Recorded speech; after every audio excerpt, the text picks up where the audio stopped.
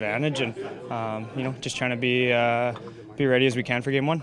Do you think this practice was kind of that first kind of ramp back up towards getting ready? Yeah, absolutely. You know, now that we know uh, who we're playing and stuff like that, we're able to, um, you know, work on a couple things, and um, you know, it's the first time that kind of started battling again a little bit. So, uh, you know, it was nice. You saw Vegas a little bit more back, back in your days in the West. Just initial thoughts on the matchup? Yeah, obviously they're a tough team, uh, winning the West, and um, you know it's going to be a little bit uh, different play style than um, you know the East is. But uh, you know we're looking forward to it, and uh, yeah, we're ready for game one.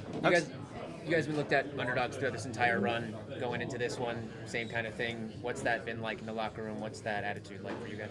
Yeah, I mean it's nothing different. Honestly, we don't really look into that stuff too much. Um, you know, we just kind of focus on ourselves and um, you know focus on what uh, we do to make us successful. Have you been enjoying though just the, the extra buzz? I mean, you turn on ESPN, you guys are there. You pick up a paper, you guys are there. I know you're focused, but yeah.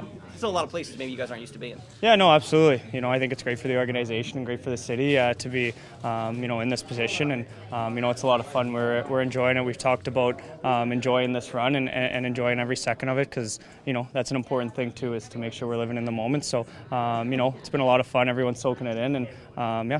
For yourself, we talked about it quite a bit, but can you ever imagine, you know, waiver wire pickups? Yeah. Now you're on the blue line in the Stanley Cup final here? Yeah, no, it's pretty crazy. I mean, um, you know, from the start of the year till now, it's been, uh, you know, such a whirlwind. And, um, you know, I think obviously at the beginning of the year, it's, yeah, no, it honestly would have been tough to believe if you would have said that. So, um, you know, pretty fortunate uh, to be in this position. And, um, you know, like I said, just want to soak it all in. Josh, has it settled in? Because I hear from a lot of players, you guys grew up dreaming of this moment. Has that settled into you yet? Yeah, I mean, I don't know about that yet. I think throughout these playoffs, we've just been. Uh, we've been doing good being so even keel, and um, you know I'm sure it'll kind of settle in once we get on the road tomorrow and stuff like that. But um, like you said, you dream of uh, playing in the Stanley Cup final, and um, to know it's right around the corner is so exciting for, for not only us but our families and everyone too. So you know everyone's enjoying it, but um, obviously there's a job at hand, and you know we're just excited to get going here. I can follow up, as a kid when you were on the, on the ice, you say, "I'm in the Stanley Cup Finals. I scored a winning goal." Yeah as a kid you did that? Yeah, no, absolutely. I mean, you you grow up dreaming of being in these moments and scoring that big goal, and um, so you know, like it, it's just like I said. I don't think it's fully settled in yet, but um, you know, we're just like I said, we're just getting ready for game one, and we're preparing for that. Paul said yesterday that some of the guys that have won cups on this team kind of stepped up in the team meeting, just talking about the moment.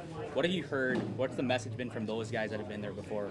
Yeah, no, I think it's like like I've been saying all along. I think it's just you know, really just living in the moment. It's we, we're just focusing on game one and kind of just taking it as another game. We're not trying to, you know, overthink it. We've been doing a good job of that throughout the playoffs, so we're just going to continue that mindset. Thanks, Josh. Awesome. Thanks.